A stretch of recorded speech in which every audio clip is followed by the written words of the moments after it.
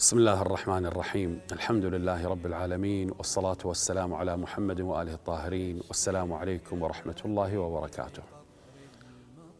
أتكلم عن ما وراء كورونا. تكلمنا عن كورونا كثير وكل حلقة من الحلقات الماضية 29 حلقة. كان جزئين موقفين أحيانا أنبه عليها أحيانا أنتقل تلقائيا. من المحطة أو الموقف الأول إلى المحطة أو الموقف الثاني من كورونا إلى الحديث في كل حلقة على حدة. آه الآن أريد أن أتكلم عن ما وراء كورونا وما وراء شهر رمضان المبارك. كثير من العادات السيئة والأعمال القبيحة تركها الناس تركوها. يعني أستطيع أن أقول أزمة كورونا أتت وهزت الإنسان من أعماقه. جعل يفك جعلته يفكر تفكيرا آخر. وأرجع وأقول سبب من الأسباب. هذا الظرف الطارئ الاستثنائي. عادات مستهجنة قبيحة أعمال غير مرغوب فيها حولها الإنسان إلى الضد إلى العكس. نجد اليوم الكثير يهتم بالإنسانية والمرضى وذوي الاحتياجات الخاصة. طيب والفقراء وأصحاب المعاناة وأمثال هذه الأمور.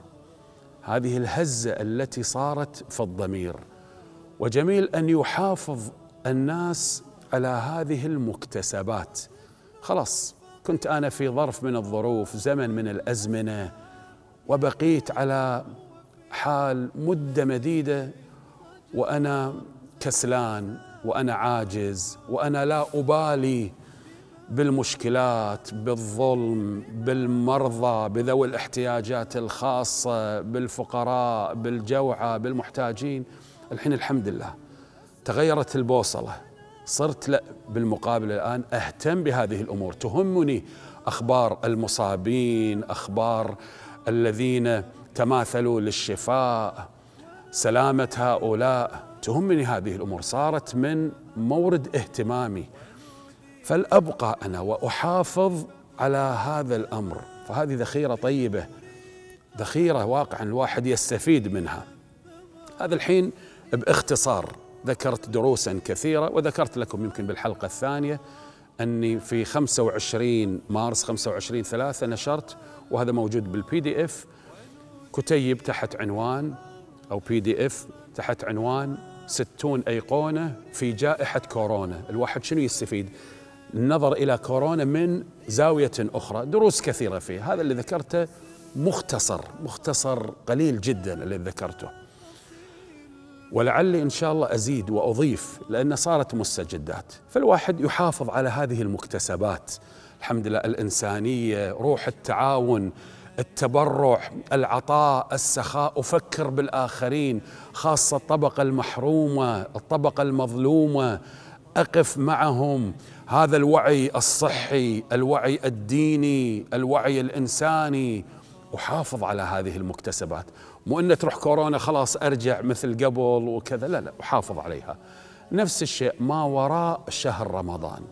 شهر رمضان اللي قدر يصوم هنيئا له اللي ما قدر لأنه معذور معذور بسفر بمرض لأنه ما يقدر مثلا يفارق الأدوية ولا يقدر يفارق الطعام والشراب معذورين والكل مأجور إن شاء الله.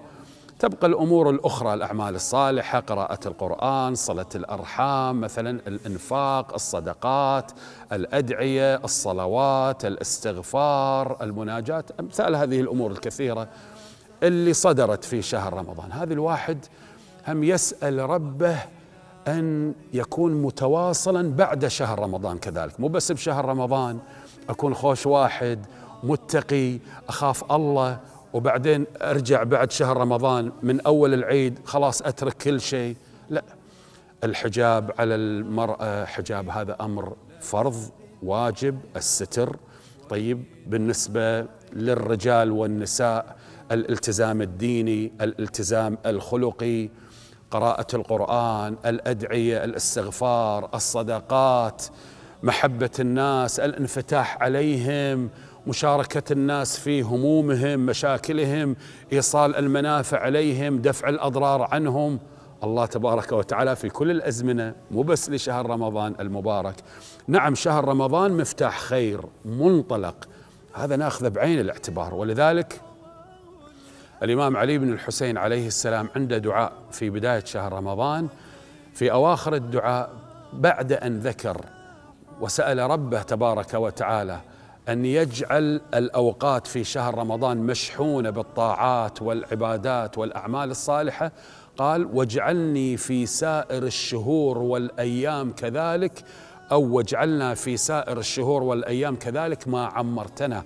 يعني يا رب هالروحية اللي كانت موجودة عندنا في شهر رمضان هالتدين هالالتزام هذا التقوى اجعله أيضا بعد هذا الشهر.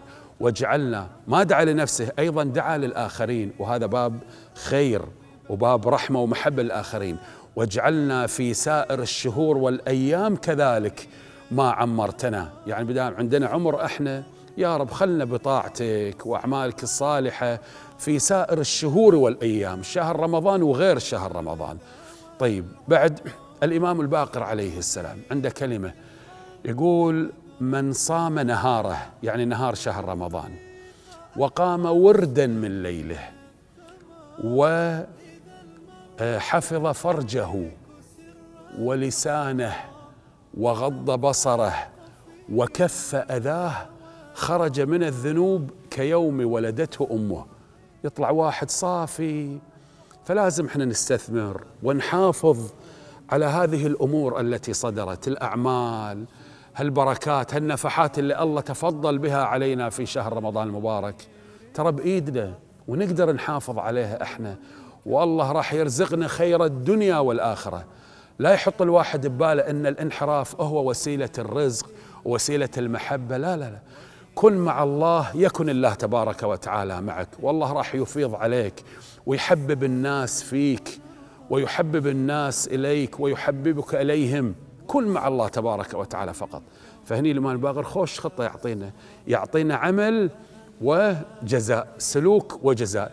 يقول من صام نهاره وقام وردا من ليله وحفظ فرجه ولسانه وغض بصره يعني حفظ فرجه ولسانه عن الحرام وغض بصره عن الحرام وكف أذاه. ما ياذي العالم ما ياذي الناس.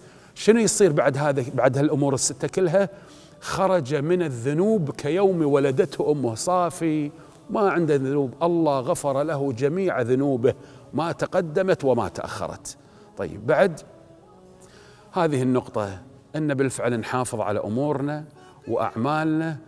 ترى راح تبقى الآثار علينا نحن. نصلي ونكذب ما يصير لأن الصلاة تنهى عن الفحشاء والمنكر. نحج ونعتمر ونغتاب ونظلم ما يصير لأن هذه العبادات تؤدي إلى التقوى. نصوم والله قال في ثمرة الصوم لعلكم تتقون. تزدادون روحانية إيمانا تقوى علاقة مع الله تبارك وتعالى أكثر. شنكم داشين محلات العطور؟ كذي حطوا بالكم يا أخو واخوات لما تدخل محل العطور بس تطلع تكون عليك روائح العطور والبخور بحيث إذا طلعت تروح أي مكان يشمونك الناس يقول الله شو الروائح الحلوة العطرة؟ تقول لاني أنا كنت في محل العطور والبخور. نفس الشيء أنا كنت في شهر رمضان علي آثار شهر رمضان. كنت بالصلاة علي آثار الصلاة علي آثار الحج علي آثار الخير وهكذا. وفقنا الله وإياكم جميعا تقبل الله منكم جميعا وعيدكم مبارك أعاد الله هذا الشهر عليكم بالخير واليمن والبركة وأشكركم جميعا لحسن المتابعة وأشكر قناة اي تي في العدالة والأخوة القائمين وأدعو لكم جميعا كما أرجو أن تدعوا لي. والحمد لله رب العالمين وصلى الله على محمد وآله الطاهرين والسلام عليكم ورحمة الله وبركاته.